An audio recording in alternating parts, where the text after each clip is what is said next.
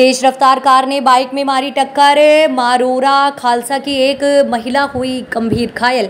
दो को आई मामूली चोटें। शिवपुरी ज़िले के बैराड़ थाना क्षेत्र के अंतर्गत मारोरा खालसा के रहने वाले बाइक सवार तीन लोगों ने तेज रफ्तार कार ने पाड़ोरा के पास से पीछे से जोरदार टक्कर मार दी, जिससे बाइक पर सवार एक महिला गंभीर रूप से घायल हो गई। वहीं दो लोगों को मामूली चोटें आई हैं।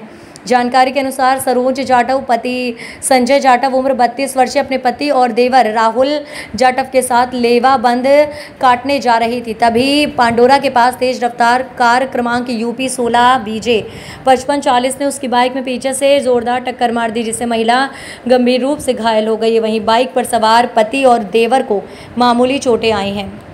आपका? दीपक जी एक्सीडेंट हुआ था। कैसे हुआ था? ये जा रहे थे ब्रेक मतलब मुड़क रहे थे पीछे से।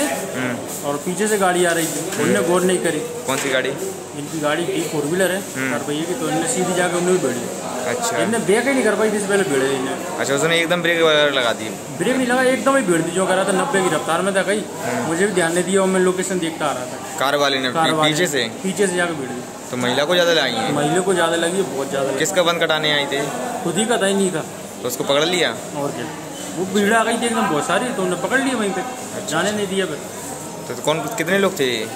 ये तीन लोग थे।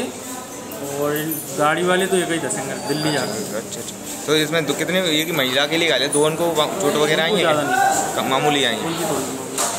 कहाँ के रहने वाले हैं? मार और खालसा। थाना कौन सा होता है हाँ शायद पौरी हुआ।